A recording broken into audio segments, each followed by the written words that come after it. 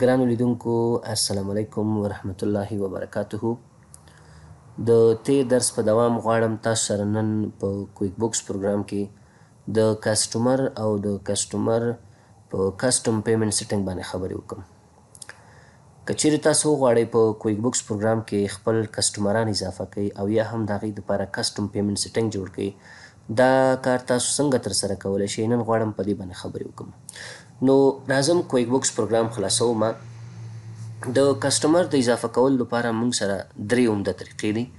یو دا ده چې تاسو وګورئ کله چې تاسو د کویک بوکس هوم پیج ته راشئ دې ځای کې موږ سره یو کمانډ دی په نوم د کسټمرز چې په دې باندې کلیک وکړئ تاسو ته کسټمر سنټر خلاصیږي. دلته کې تاسو د نیو کسټومر د طریق نه چې کله نیو کسټومر باندې کلیک وکړئ تاسو کولی شئ نوی کسټومر په کویک بوکس پروګرام کې اضافه کړئ. بله طریقه دا ده چې که چیرې تاسو پام وي دغلته مونږ سره دا لیفټ آیکن بار چې دی په دې کې مونږ سره یو کمانډ دی په نوم د کسټومرز چې که چیرې په دې باندې مونږ کلیک وکړو بیا هم مونږ لپاره هماغه کسټمر سنټر خلاصیږي چې د دغه کسټمر سنټر د تاریخ نه بیا هم د تیر درس په شکل باندې راځو نیو ته او نیو کسټمر باندې کلیک کوو او که چیرې تاسو غواړئ د مینو د تاریخ نه نوې کسټمر په کویک بوکس پروګرام کې اضافه کړئ د لپاره راځو کسټمر مینو ته او کسټمر سنټر باندې کلیک کوو نو دا د موږ سره کسټمر سنټر خلاص شو او د دې صفحې د تاریخ نه موږ کولی شو په کویک بوکس پروګرام کې نوې کسټمر اضافه کوو دا چې ګورئ دغه صفحه په نوم د کسټمر سنټر یادیږي دلته مونږ سره د مشتریان نومونه راځي څومره کسټمر زمونږ چې اوسي که هغه مونږ په شکل د لیست اضافه کړي اوسي او یا هم که په شکل د انفرادي مونږ اضافه کړي اوسي دلته مونږ سره د کسټمر مربوطه کرنسي راځي که چیرې زمونږ کسټمر افغانی اوسی افغانی ورسره راځی که چیری زمونږ کسټومر مثلا هندی اوسی هینډین روپیز ورسره راځی او که چیری مونږ سره زمونږ کسټومر پاکستانی اوسی نو پاکستانیز روپیز ورسره راځی یا پاک روپیز ورسره راځی نو دا بیا کله چې مونږ مشتری جوړو په مشتری کې مونږ ته انتخابو شي دا مشتری زمونږ څه رقم دی افغانی دی پاکستانی دی هندی دی یا امریکایی دی یا کاناډایی دی څه رقم دی کوم کرنسی چې مونږ ورته انتخاب کړو هغه کرنسی بیا دلته دغه نوم مخامخ راځی. او دې ځکې د هغه بیلنس راځي چې څومره هغه مشتري مونږ څخه قرضدار دی که چیرې بیلنس مثبت اوسي په دې معنی چې دغه پیسې مونږ لپاره اکاونټ ریسیویبل دي او د مشتري لپاره اکاونټ بیبل دی او که چیرې پیسې منفي حالت کې اوسي یعنی منفي عادت اوسي دلته هغه په دې معنی چې دغه پیسې مونږ باندې پیبل دي یا مونږ اډوانس اغستی یا غي مونږ ته پیشکی راکړي هر رقم چې خو په مونږ باندې پیبل دي مونږ که چیری د مشتری مونږ څخه جنس واغستو خو هغه به ورته مجرا کو که چیری جنس وانه غستو کولی شو پیمنټ ورته مونږ وکړو په شکل د کیش چی دغه قرض مونږ څخه خلاص شی او دی ځی کی دغه اټچ مربوطه کوم ډاکومنټس چی مونږ اټچ کړی وسی د مشتری مربوطه هغه دلته کی راځی دی ځی کی چی دی د مشتری جنرل انفارمیشن راځی دهغه کمپنی نوم چی دی خپل نوم چی دی کارنټ اډرس چی دی. او په همدې شکل فون نمبر چې شی وي نور معلومات چې څومره دي کنه هغه دلته راځي او دې ځکه چې تاسو ګورئ دغه مربوطه څومره ترانزیکشنونه چې موږ ثبت کړي هغه دلته راځي چې کله تاسو د مشتری په نوم باندې کلیک کوئ مربوطه ترانزیکشنونه کاغه استیمیټ وي کاغه کوټیشن وي کاغه انوایس وي کاغه ریسیو پیمنټ شوی که کریډټ میمو وسی هر څه چې وسی هغه دلته مون سره ریکارډ کیږي څومره ترانزیکشنونه چې اجرا شوي هغه دلته راځي او په دې خو ته چې نور اضافه معلومات لکه کنټاکټس انفارمیشن ټو ډو نوټس دا نور معلومات دلته اضافه کیږي نو د ډیرو خبرو څخه تیریږم راځم نیو کسټمرز ته یا نیو کسټمر باندې کلیک کوم دلته نیو کسټمر انتخابوم اولین معلومات چې مونږه باید په کسټمر کې اضافه کو هغه د کسټمر نیم دی دغه کسټمر چې تاسو اضافه کوئ د دې نوم څه شي دی زه ورته چې د دې کسټمر نوم مونږ سره دی امید افغان دا د دې کسټمر نوم دی مونږ سره دغه امید افغان د تاسو څخه مخکی قرضدار دی کنه تاسو په دی باندی پیسی په شکل د قرض لری که نه لری که لری اضافه کړی او که نه لری همدسی دا خالی پریږدی اوپننګ بیلنس په دی معنی ګوره څو حالاتو کی مونږ اوپننګ بیلنس اضافه کوو یو خو دا دی چی کله چی مونږ خپل منول سیستم کمپیوټری سیستم ته یعنی کویک بوکس ته اړو که هغه په ایکسل کی اوسی او که په کتابچه کی اوسی نو کله چې تاسو هغه دلته رسوئ نو د هغه بیلنسون د هر یو مشتری بیلنس په تاسو په اوپن بیلنس کې دلته اضافه کوئ او تاریخ به مو سره انتخابوئ او که چیرې یو کال زمونږ اینډ کیږي نوې کال کې مونږ غواړو کویک بوکس پروګرام ته سیستم واړو ځای شو نوې کمپنی فایل جوړو نو تاسو هغه زوړ کلوزینګ بیلنس د کسټمر چې دلته از اوپننګ بیلنس رسوئ. نو زه ورته چې نه دا کسټمر مانه هیڅ قرضدار نه دی بیلنس ورسره نه لیکم دا همداسې خالي پرېږدم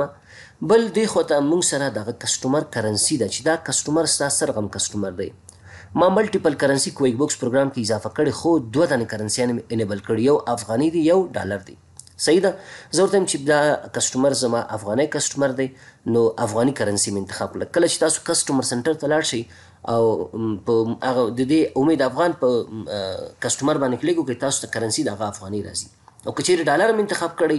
نو بیا ډالر راځي زه ورته وایم چې نه دا زما افغانی مشتری دی او کرنسي مو ته افغاني انتخاب کړه دې نه وروسته د ده اډرس انفارمیشن ټاب دی اډرس انفارمیشن کې مانه ددې د کمپنۍ نوم غواړي چي دغه کس خو اتمن یو کمپنۍ لري تاسو دغه کمپني نوم ولیکي که چیري کمپنۍ نه لري مه لیکي خو طبعا کمپنۍ لري ستاسو مشتري زه لیکم چي دغه کس امید افغان په نوم د الکوزی ال ټي ډي یو کمپنۍ لري صحیح شوه بل د دې کس چې دی فول نیم مونږ ته ولیکي دلته خو همداسې لنډ معلومات ما ولیکه ما ورته ویل چې مسټر امید او میډل انیشل نشته لاست نیم ورته افغان لیکم دا د دې فول نیم دی جاب ټایټل د دی مستر امید افغان څه شی دی زه ورته چې دا اونر دی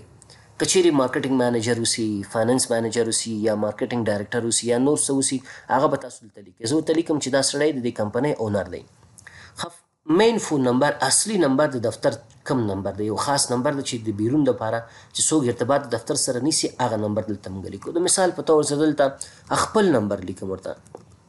زه ورته دا د دې کمپنۍ نمبر اصلي مین فون نمبر دا دی دې ځکه زیاتره ډیجیټل نمبر خلک لیکي مثلا شل شل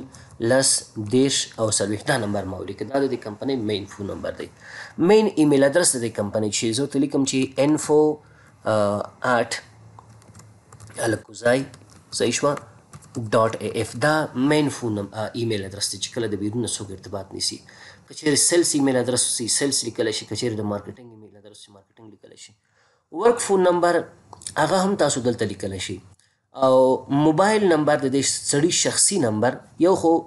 مین فون نمبر یې ددې کمپنۍ یو کاري نمبر یې او بل شخصي نمبر یې صحیح شو زه مثلا لیکلی شم شخصي نمبر کې زه دغه خپل نمبر ته لیکم چې دا ددې سړي خپل نمبر دی مین فون نمبر فاکس نمبر یې کوو چې هغه هم کولی شي که نه یې پرېږده سی سی معنا کاربن کاپي کله کله داسې کېږي چې تاسو که چیرې پام کړی یو خالي بست ته چې په اکبر سایټ کې اپلای کوئ نو بعضې بستونو کې داسې لیکلي چې تاسو به خپل اسناد دغه ایمیل ادرس ته لیکئ او سی سی کې به دا بل ایمیل ادرس ته لیکئ مثلا مین ایمیل ادرس کې د اچ آر ایمیل ادرس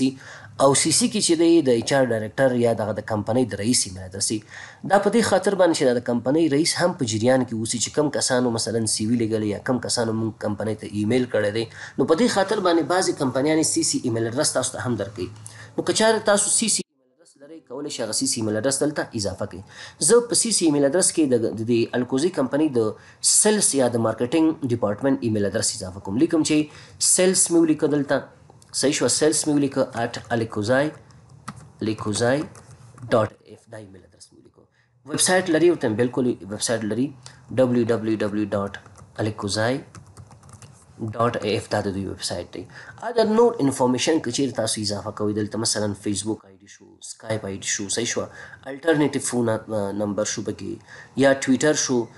نور معلومات تاسو دلته اضافه کولای شئ مثلا سکایپ آی ډی کې زر لیکم دلته راځم لیکم چې علي کوزای دا مې سکایپ آی ډی کې ورته ولیکله دا د دوی سکایپ آی ډی ده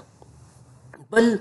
کله چې مونږ دغه امید افغان ته چې د الکوزي شرکت رئیس دی دوی ته کله انوایس ورکو صحیح شو په کوم اډرس باندې تاسو انوایس ورکوي الکوزي لیمیټډ لایبلټي کمپنی یا ارس چې لیکي ال ټي ډي امید افغان لاندې کول شي نور معلومات مو تولیک چې مثلا ډیسټریکټ نمبر تری ځای شوه او دغه نرسته بیا تاسو هغه کوډ لیکل شي ایریا کوډ د مثال په تور باندې او دغه نرسته زه لیکم چې کابل افغانستان دا د الکوزی کمپنی چې دی هغه انو ادرس چې کله موږ ورته انوایس ورکو په دغه ادرس انوایس ورکو بل شیپ ټو ادرس دی بعضی وخت ګوره مشتریان زموږ د مشتریان دفتر مثلا په شاریناو کې دی خو دا وسایل شیان چې موږ غواړي هغه یو بل دفتر ته ګودام یا بل شي الته انتقالوي که چیرې د دوی د دغه کسټمر زمونږ انوایس او شیپ ټو ادرس یو شي نو فقط دغه معلومات کاپي کوو دلته خپله راځي او که چیرې متفاوت اوسي تاسو کولی شي دی اډ باندې کلیک وکړئ هغه معلومات دلته اضافه کړئ زه ورته وایم چې نه دا معلومات دا معلومات دواړه یو دي فقط اوکې باندې کلیک کوم هماغه دلته راځم کاپي باندې کلیک کوم او اوکې کلیک کوم هغه معلومات اټومیټیکلی دلته څه کیږي انتقالیږي بل مونږ سره په کسټمر کې پیمنټ سیټنګ دی پیمنټ سیټنګ کې مونږ سره اول اکاونټ نمبر دی طبعا کله چې مونږ د مشتری باندې چې شي خرڅو یا مونږ ته کیش راکړي یا به مونږ ته زمونږ اکاونټ دوی هغه پیمنټ کوي یعنی اکاونټ به بیلانس ترانسفر کوي نو کله چې تاسو سره د دوی اکاونټ نه تاسو نه پوهیږئ چې دا پیمنټ چې مونږ ته د بانک د طریق نه شوی دی دا چا کړی دی نو که چیرې دوی د دوی اکاونټ نمبر تاسو ته معلومي تاسو دغه کس د بانک اکاونټ نمبر دلته څه کوي اضافه کوي نو زه دلته راغلم ومې لیکه چې دا د دی د بانک اکاونټ نمبر دی دغه نه وروسته کریډټ لیمټ دی چې تاسو د یو مشتري سره سره غم تعهد کړی تر څومره پیسو پر دا مشتري کولی شي موږ څخه وسایل یا اجناس یا سرویس په قرض واخلي زه ورته چې د 50 زره روپو پورې موږ دوی سره لیمټ کړی دی چې 50 زره روپو پورې کولی شي دا کسان موږ څخه په قرض باندې په کریډټ باندې سرویس واخلي یا انوینټری واخلي نو کله چې بیا 50 زره پوره شي موږ د یو انوایس دی کسٹمر ته جوړو خپل کنه نو چې کله یو انوایس جوړو چې هغه د 50 زره نه زیات نه کوی بوکس موږ ته میسج راکړي چې تاسو دوی لپاره لیمټ تعین کړو 50 زره افغانۍ آیا غواړي مخکې لاړ شي او کنه پاتې شوه بل مونږ سره پیمنټ ټرمز دی پیمنټ ټرمز دې لپاره مونږ استعمالو چې بعضې وخت کې مشتری مشتری لپاره مونږ یو لیمټ تعینو چې ورور هر وخت تاسو مونږ څخه جنس اخلئ دا پیسې باید مونږ ته په پنځلس ورځې کې راکړئ یا به دا پیسې مونږ ته په هماغه ډیټ باندې راکوي چې کوم ډیټ په دا انوایس کې لیکل شوی دی دې لپاره په دې ځای باندې کلک وګوره مونږ سره تیار جوړ شوي پیمنټ ټرمز نشته نو که چیرې تاسو وایئ چې په دېرش، پنځلس ورځو کې پیسې باید مشتري موږ ته راکړي دا انتخابوو، که چیرې دېرش ورځې دا انتخاب کړئ، که چیرې شپېته ورځې مو تاسو هغه ورسره کړی تعهد مو ورسره کړی دا به انتخابوئ او که چیرې ورته وایئ چې نه Do on the receipt چې کله تاسو جنس رسیپټ کړو نو تاسو باید موږ ته پیمنټ وکړئ. په همدې شکل مختلف نور موږ سره شته مثلا دا د ډسکاونټ لپاره دی چې دا امید افغان کمپنۍ باید دا مشتری چی زمونږ دی امید افغان د الکوزی کمپنی رئیس چی دی دا باید همیشه مونږ څخه چی شی اخلی په دیرش ورځو کی پیمنټ مونږ ته وږی او که چیری په لس ورځو کی پیمنټ وکړو یو پرسنټ دی لپاره مونږ څه کوو ډیسکاونټ ورکوو نو زه دلته څه انتخابوم دلته مثلا پنځلس ورځی انتخابوم نیټ ففټین انتخابوم ورته. که چیرې تاسو وغواړئ چې کسټم پیمنټ سیټینګ جوړ کړئ ګوره دلته مونږ ویلي دي چې کسټم پیمنټ سیټینګ مونږ جوړ څنګه جوړو دې په باره کې خبرې کوو نو اوس صرف راځم کش مشتری جوړوم کسټم پیمنټ سیټینګ په باره کې بیا روسته خبرې کوم دې ویډیو کې روسته خبرې کوم نو ما دا ورته انتخاب کو دغه نه لاندې پریفرډ ډیلیوري میتود دی چې تاسو کولی شئ ایمیل انتخاب کړئ او میل انتخاب کړئ مشکل نشته بای ډیفالت مونږ سره ایمیل دی او Preferred Payment Methods دی چې زیاتره وخت تاسو دوی سره خبر کړی چې تاسو ته دا پیمنټ کوي په څه باندې پیمنټ وکړي په کیش باندې پیمنټ وکړي په چیک باندې پیمنټ وکړي که په ماسټر کارت باندې پیمنټ کوي که ډیبټ کارت دی چی شری نو که کیش مغسته دی لاندې معلومات ته ضرورت نشته چې دا معلومات تاسو ته اضافه کړي او کچیر تاسو ته ویل چې نه مونږ ته باید په ماسټرډ کارډ یا ډیبټ کارډ باندې تاسو پیمنټ وکړئ نو هغه کریډټ کارډ معلومات به تاسو څه کوئ د ځکه درج کوئ نو زه څه انتخابوم دلته کیش انتخابوم ضرورت نشته چې بل څه اډ کوم کریډټ کارډ معلومات اډ کوم دغه نه روسته موږ سره پرایس لیول لیست پرایس لیول لیست نیکس لیکچر کې بل ویډیو کې ان شاء الله په دې باندې خبرې کوم دغه قصې زیاتې دي صحیح ده دې په اړه کې بل ویډیو کې خبرې کوو نو بل موږ سره سل ټاکس سټینګ دی آیا دی مشتری باندی تاسو ټاکس چارج کوی که نه کوی نه چارج کوی تاسو ټاکس که چیری ټاکس په چارج کوی دلته به تاسو څه انتخابوی ټاکسیبل انتخابوی که چیری ټاکس په نه چارج کوی نن ټاکسیبل به ورته انتخابوی او که چیری تاسو دلته سل ټاکس ټاکسیبل هم انتخاب کړی خو دې کې تاسو اوټ اف سټیټ انتخاب کړئ دا په دې معنی چې دا مشتری د ټاکس څخه اگزامپ دی یعنی دې څخه مونږ ټاکس نه اخلو او که چیرې تاسو ټاکس انتخاب کړ دلته دې ځای کې باید تاسو هغه د ټاکس پرسنټیج هم انتخاب کړئ چې څو فیصده ټاکس په دې باندې تاسو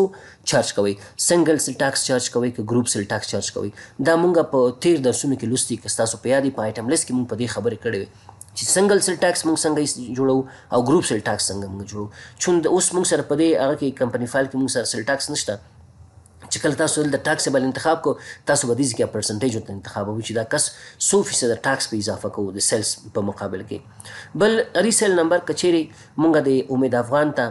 د ریسیلینګ اجازه ورکړي دا ریسیل نمبر تاسو دلته اضافه کولای شئ ورته اډیشنل انفارمیشن کچېرې غواړئ نور اضافه معلومات د مشتری په باره کې تاسو اضافه کړئ هغه تاسو دلته نه کولی شئ لکه څنګه معلومات چې دا مشتری زمونږ سره مشتری دی دا هولسیل مشتری دی صحیح شوه داخلي مشتري دی خارجي مشتري دی نو هغه تاسو دې ځکه اضافه کولای شي که چېرې تاسو دې بلټن نه یو دانه انتخابوي ښه تر ښه کنه تاسو کولای شي اډنیو ته لاړ شي خپل اضافه کې زه مثلا لیکم چې لیکم چې انډین دا مې ورته انتخاب کړ شو دا مشتري چې دی زمونږ انډین مشتري دی یا لیکلی شم چې انټرنل کسټمرز او په همدې شکل دا اوکې کوم بل مې اضافه کوم دلته راځم اډ نیو ته راځم لیکم چې ایکسټرنل کسټمرز داخلي مشتری او خارجي مشتری نو که چیرې تاسو داخلي مشتری تاسو به دلته انټرنل انتخاب کړئ که چیرې خارجي او ایکسټرنل به انتخاب کړئ که چیرې دغه امید افغان کم نماینده لري صحیح شو ریپرزنټیټیو لري تاسو کولای شئ دغه معلومات دلته اضافه کړئ که نه تاسو اډ نیو ته راشئ دغه معلومات دلته ولیکئ سلس ريپريزنټيټف نيم دغه چي دي صحيح شو انيشيل چي دي ټايپس چي دي زه فقط لیکم چي په نوم د اجمل همدرد مونږ سره یو کس دا د دې سلس ریپرزنټیټیو دی اوکې مې کلیک کو کویک اډ باندې کلیک کوم او اوکې مې کلیک دلته دا بیا اوکې کلیک کوم نو هغه کس په ما سره دلته څه شي از ریپرزنټیټیو اجمل همدرد ما سره اضافه شي که چیری بعضی نور فلډونه تاسو ته پکار یعنی داسی معلومات چی په دی ځی کی دهغه لپاره ځای نه وو او تاسو غواړی په کویک بوکس پروګرام کی هغه اضافه کړی د کس ډیفاین فلټر راځی مثلا زه غواړم چی ولیکم چی الټرنیټیف یا لیکم چی پارټنر پارټنر ټو فون نمبر صحیح شو دویم پارټنر فون نمبر چی دی یا لیکم چې مثلا د دوی د الټرنیټیو الټرنیټیو صحیح شو اکاونټ نمبر مو ته لیکم اکاونټ نمبر یو خدا مین اکاونټ نمبر دی یو الټرنیټیو اکاونټ نمبر دی چې دویمي اکاونټ نمبر چې الته دی دی کسٹمر په اضافه کولو کې موږ سره الته خاص ځای نه نو دا مې دلته ولیکم ماته دغه معلومات هم پکار دا چیرته تاسو اضافه کوئ امپلائی کی اضافه کوی وینډر کی اضافه کوی که کسټومر کی زه ورته وایم چی نه صرف کسټومر کی وینډر امپلائی کی متن دی پکار څه رقم ډیټا تاسو دی کی انټر کوی نمبر انټر کوی صحیح شوه انی ټیکس غواړی څه رقم غواړی زه ورته وایم چی انی ټیکس دی کی لیکلی وشم اوکی کلیک کوي بیا دغه نه وروسته اوکی کلیک کوي تاسو وګورئ دلته ما سره یو بل فیلډ په نوم د الټرنیټیف اکاونټ نمبر اضافه شو چې په دې کې زه دغه د دې امید افغان د کمپنۍ الټرنیټیف یا دومي اکاونټ نمبر څه کوم اضافه کوم که چیرې تاسو ته نه پکار بیا ډیفاین فیلډ ته راځئ دینه ټک لرې کړئ اوکې کلیک وکړئ هغه معلومات به څه شي ختم شي پاتې شو جابس انفارمیشن جابس انفارمیشن دې لپاره موږ استعمالو که چیرې تاسو د دې امید افغان کسٹمر لپاره په یو سپیسیفیک جاب باندې کار کوئ صحیح ده نو تاسو کولای شئ چې د هغه جاب انفارمیشن دلته اضافه کړئ مثلا زه لیکم چې سټاف آن جاب ټریننګ لیکم صحیح شو دوی لپاره مونږ یو پروجیکټ دی په نوم د سټاف آن جاب ټریننګ په دې باندې کار کوو صحیح شو جاب ټایپ څه رقم دی تاسو کولی شئ دالته دا دا کمرشل دی که نه دی دا انتخاب کړو که چیرې تاسو دسې یو جاب ټایپس تاسو ته پکار چې په دې ځکه نه کولی شئ تاسو دلته اډ نیو ته لاړ شئ زه په دې باندې مکلګ وکړو زه تم چې کپاسټي بلډینګ په نامه باندې یو جاب ټایپس ما سکه اضافه ک اوکې مکلګ کو دلته وګورئ موږ سره نوې جاب ټایپس یا ټایپ اضافه شو په نوم د کپاسټي بلډینګ د دې جاب سټیټس څنګه دی شروع شوی دی نه دی شروع شوی ختم شوی دی پنډینګ کې دی یا اوارډ دی ان پروګرس دی چی شری زور تم چې دا ان پروګرس دی سټارټ ډیټ دا په کوم تاریخ باندې شروع شوی دا جاب زور تم چې دا په دمدې فبروري میاشتې په لسم تاریخ باندې شروع شوی دی او پروجیکټډ اینډ ډیټ په کوم تاریخ باید دا ختم شي مونږ ویلو چې دا باید په 25م تاریخ باندې ختم کو او دا اینډ ډیټ چې دا تاسو روسته لیکل شي چې کله دا جاب ختم شي که چیرې په همدې تاریخ ختم شو همدغه تاریخ به انتخاب وي که چیرې په بل تاریخ ختم شو تاسو کولای شئ متفاوت تاریخ ورته انتخاب کړئ دغه نه روسته دا معلومات چې کله تاسو اضافه کړو فقط اوکی باندې کلیک کوئ تاسو کسټمر تاسو په کویک بکس پروګرام کې څه کیږي اضافه کیږي خو دې نه مخکې چې زه په دې اوکی باندې کلیک کوم راځم بیرته پیمنټ سیټنګ ته راځم ما تاسو ته ویلې چې چیرې تاسو وغواړئ کسټمر د لپاره کسټم پیمنټ سیټنګ جوړ کړئ مشتری موږ ته موږ مشتری سره د تعهد کو یا په فیصله ورسېل چې وروره مشتری باید ما ته په یو میاشت کې پیمنټ وکړي چې کله ما نه چې شي اخلي په یو میاشت کې باید پیمنټ وکړي خو کچیرې دوی ما ته پیمنټ په یو ورځ کې وکړو صحیح ده په مغه اول ورځ کې وکړي یا یو نه تر 15 ورځې پورې وکړو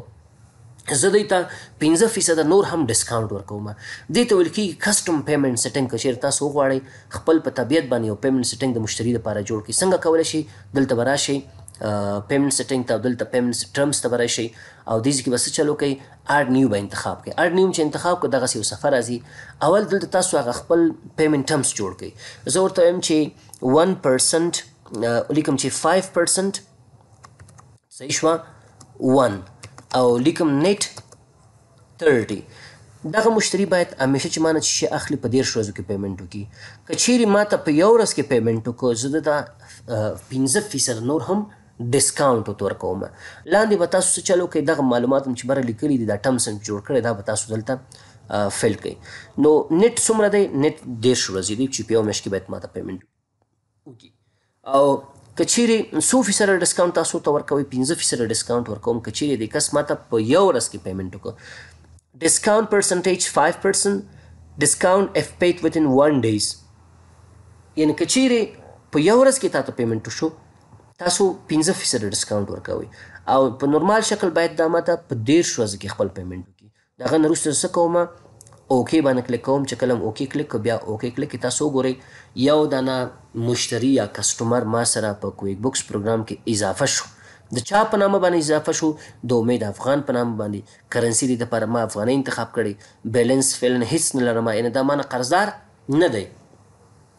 نه ماته اډوانس اغستی او نه دا مانه قرضدار دی او اټچمنټ کې کوم ډاکومنټس هم ما تر اوسه اټچ کړي نه دي که چیرې تاسو غواړئ چې د دې جواز یا نور داسې ډاکومنټس دا دلته اټچ کړئ په دې باندې رائټ وبخي ډبل کلیک وکړئ ډبل کلیک هم چې وکړو دغه سیو صفحه راځي ډایرکټ کولای شئ فایل هم دلته ډراګ کړئ او دې ځینه هم کولای شئ چې تاسو لاړ شئ کمپیوټر باندې کلیک وکړئ هغه فایل تاسو په کوم ځای کې پروت دی هغه فایل سلیکټ کړئ او پن کلیک کړئ هغه بدل ته اتوماتیکلی څه شي اټاچ شي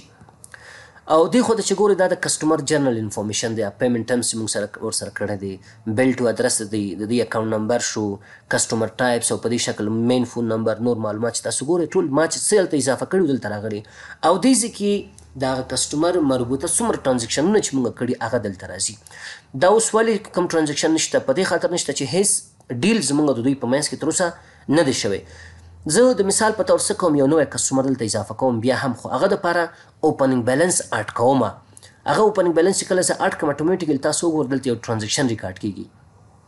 نیو کسټومر مې انتخاب کو زه ورته چې یو کسټومر زه اضافه کوم په نوم د چی شي په نوم د علي بابا ورته وایم علی بابا په نامه باندې ما سره یو کسټمر دی زمون دا علی بابا ما څخه تقریبا سل ډالر قرضدار دی سل ډالر نه ورته مچ دا تقریبا لس زره افغانۍ ما څخه څخه دی قرضدار دی او دا د کوم تاریخ نه قرضدار دی اوپننګ بیلانس د دور تم دی اول تاریخ دا زما قرضدار دی اوپننګ بیلانس په د باندې شته او کرنسي ورته هم افغانۍ انتخابوم کمپني نيم کې زه ليکم چې علي بابا نور څه معلومات نه لیکم فقط اوکی کلیک کوم چې کله مې اوکی کلیک کړ تاسو اوس وګورئ دلته ما سره یو کسټمر بل اضافه شو په نوم د علي بابا کرنسي هم د د افغانۍ ده بیلنس د د لس زره افغانۍ دی دلته اټومیټیکلی تاسو په ترانزیکشن کې وګورئ یو د ترانزیکشن ریکارډ کیږي په نوم د انوایس او دغه ترانزیکشن چې دی د کوم اکاونټ سره لینک شوی دی یو اکاونټ دی په نوم د اکاونټ رسیویبل دا په دې معنی چې دغه پیسې موږ د پاره اکاونټ رسیویبل دی صحیح شو او څومره اماونټ دی لس زره اماونټ دی او کرنسی چې د افغانۍ ده او ډیټ هم دلته اتوماتیکلی انتخاب کیږي کچېرې انوایس نمبر ولري انوایس نمبر اتوماتیکلی دلته څه کیږي اضافه کیږي نو دا زموږ د نن ورځې درس که چیری مو زما ویډو خوښه شوی اوسی نو ویډو به لایک کړئ که چیری مو زما چینل نه سبسکرایب کړی چینل به سبسکرایب کړئ چې ترڅو نوی ویډوګانی چې زه په یوټیوب کې اچوم تاسو ته نوټیفیکیشن راشي او که چیری کوم سوال لرئ کولای شي د کومنټ د دې ویډیو لاندې په کومنټ کې خپل سوال ما سره شریک کړئ او که چیری نور معلومات تاسو ته پکاري کولای شي ما ته په دغه واتساپ نمبر باندې میسج وکړئ